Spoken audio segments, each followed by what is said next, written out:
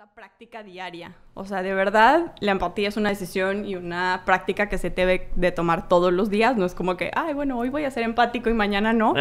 Eh, sino donde verdaderamente tratemos de ser empáticos este, practicarlo diariamente. Y, em, y aparte practicarlo en todos nuestros diferentes ámbitos, practicarlo en los negocios, practicarlo en nuestra vida personal, en nuestra vida con amigos. Y tal vez traigo como un par de, de ejemplos de diferentes cosas en las formas en las que la empatía de verdad juega un rol importante. Sí, a preguntar justamente, a ver, ejemplos. A ver, ¿dónde?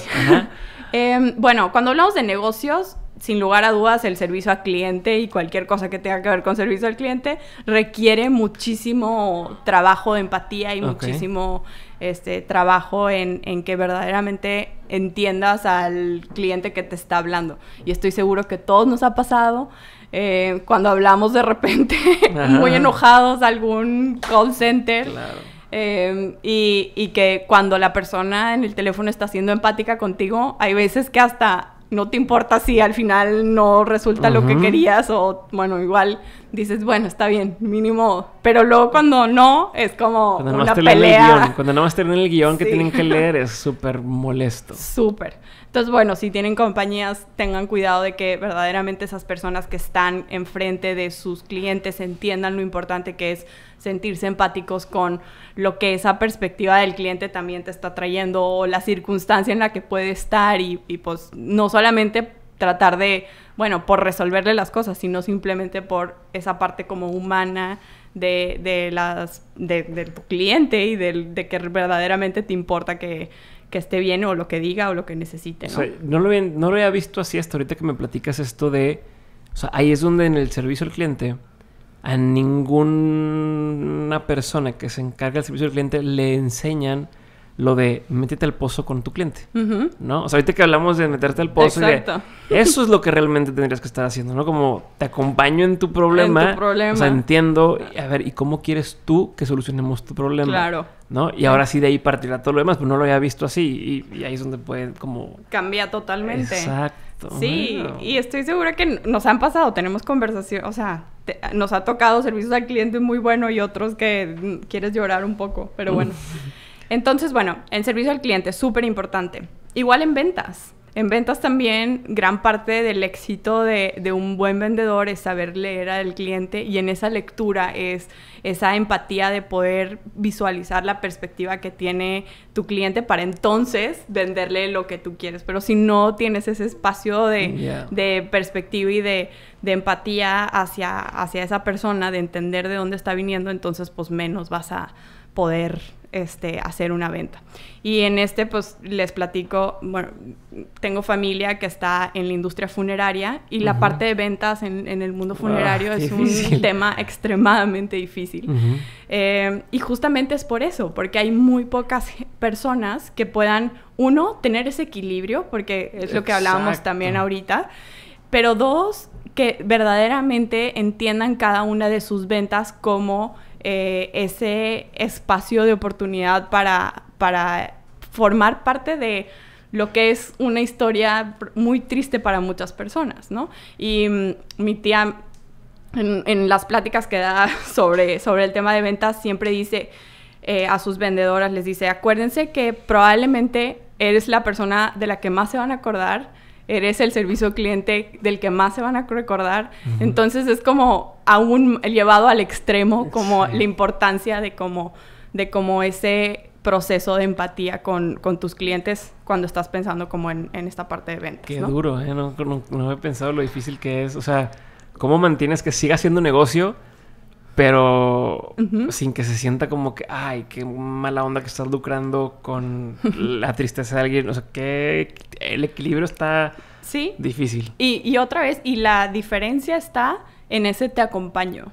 No te trato de resolver todo y ponle esto y aparte agrégale esto y no es como te acompaño, aquí estamos, te acompañamos en este proceso y que sea lo que tú quieres, o sea, tú que tú como familia que necesitan, que quieren y que están buscando. Entonces el, proceso de venta es muy distinto, pero creo que todos podemos, todos los que vendemos o los que nos toca vender podemos aprender un poquito de eso.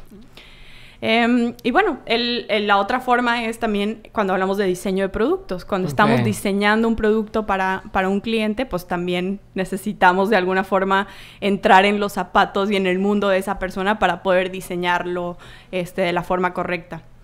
Y yo vengo del mundo social, vengo del emprendimiento social y me ha tocado ver muchos del mundo social, de la fiesta y de... ah, bueno, no, no de ese tipo social, de impacto social.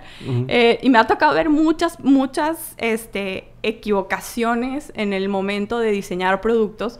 Porque digo, también muchos de los emprendedores sociales vienen tal vez de un mundo completamente distinto, de es una conexión gigantesca entre a quién quiero ayudarle y, de dónde vengo. Y la perspectiva que tengo yo, ¿no?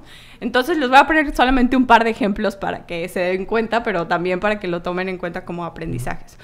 Uno es, em, hace poco hubo unos emprendedores aquí en México que estaban tratando de llevar unos pisos flotantes a comunidades. ¿Pisos flotantes? Pisos que se calentaban solos y que quién sabe qué, y que las casas para que no, porque bueno, muchas de las casas, sobre todo en estas comunidades, eh, pues eran de tierra, literalmente de tierra. Eh, entonces, bueno, estaban como tratando de explorar qué tipo de pisos y por qué las comunidades seguían teniendo pisos de tierra y quién sabe qué.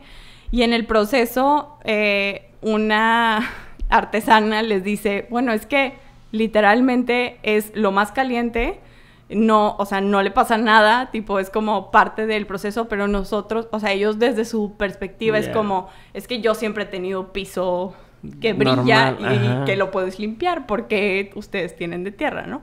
Entonces, otra vez, creo que... Sí, que la persona, la, la artesana no tiene la necesidad de tener un piso de, de azulejo, de lo que fuera. Sí, o tal vez un piso completamente distinto a la perspectiva de piso que nosotros podemos visualizar que tenemos. Pero por asumir que yo lo tengo y que todos los demás deberían de tenerlo, no es parte de cómo funciona, eh, sobre todo en esta parte de diseño de, productos. Em, y te voy a dar otro ejemplo. Este, de hecho, eh, lo vi cuando estábamos en, en, trabajé un tiempo en Grameen Bank, que es una, bueno, una parte de Grameen Bank tiene una consultora para... ¿Qué, es, ¿qué es ese bank? Para ah, que la gente Grameen Bank es el banco que fundó este, Mohamed Yunus, es el famoso banco para pobres, eh, pero después de como todo el éxito del banco, se empezaron a desarrollar como todos estos otros negocios sociales alrededor para tratar de atacar los diferentes problemas que habían en Bangladesh.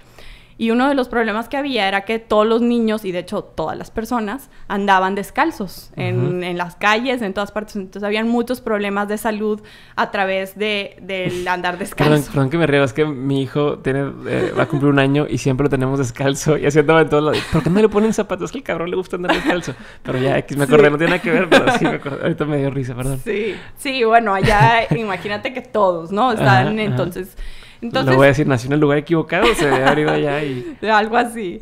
Y entonces el equipo de Grameen dice, bueno, pues tratemos de ver cómo podemos generar acceso a un zapato que valga menos de un euro y convocan a Reebok en ese tiempo para que ellos diseñen como este zapato por menos de un euro, bla, bla, bla. Pero, pero esto fue idea de ellos. Dijeron, oye, vemos que todo el mundo no trae zapatos, hay que solucionarlo. No, seguro no compran porque están muy caros. Porque no hay acceso a, zapatos en, pues, en el rango de lo que ellos podrían gastar. Eh, y entonces van y le dicen a Reebok, y Reebok obviamente al principio no, imposible, como un euro, de que no es posible. Bueno, al final se suman a la, a la iniciativa y salen y terminan saliendo con un zapato que básicamente parece un Grog. O sea, por, por, darles un visual de cómo es.